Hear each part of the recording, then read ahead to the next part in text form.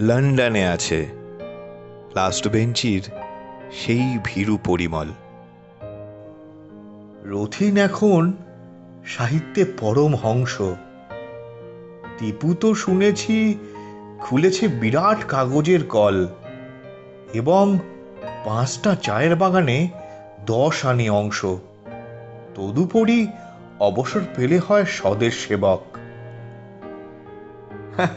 আড়াই ডজন আরশোলা ছেড়ে ক্লাস ভেঙেছিল পাগলা অমল। সে আজ হয়েছে মস্ত অধ্যাপক। কি ভয়ঙ্কর উজ্জ্বল ছিল সত্য স্মরণ। সে কেন নিজের কণ্ঠ কাটল ঝকঝকে খুঁড়ে? এখনও ছবিটি চোখে ভাসলেই জাগে শিহরণ। দূরে ঝুলে যাবে জানতাম তবু এতখানি দূরে? গলির চায়ের দোকানে এখন আর কেউ নেই।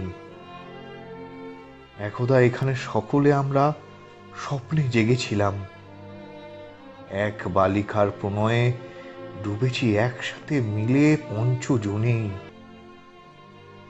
আজ এমন কি মনে নেই সেই মেয়েটিরও নাম।